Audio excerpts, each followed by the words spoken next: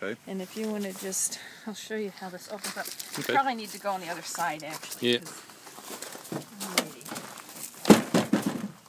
The thing is, when you put it away, Mm-hmm. it's easiest if this rounded part is facing, Facing in forward. and the pointed part is facing out. Got it. Because you have to pull up one of the um,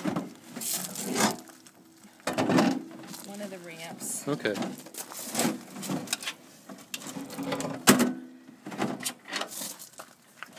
Just that. Okay. And then this comes up, Got it. And you flip it over, and it flips over. right? And then this Okay. opens this way. Right. Beautiful. And um, I used it with my dad's electric wheelchair. I Uh-huh. would back the wheelchair in. Right. Right. Of course, I, I, he did transfer. He just got Uh-huh. the front seat.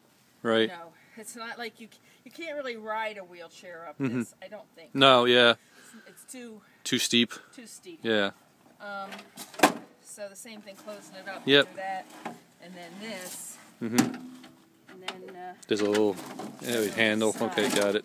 and I just kick it in like that. Okay. Now these little, got this Oh. Okay. So you can keep it closed. Got it. So you can lock it closed. Yeah.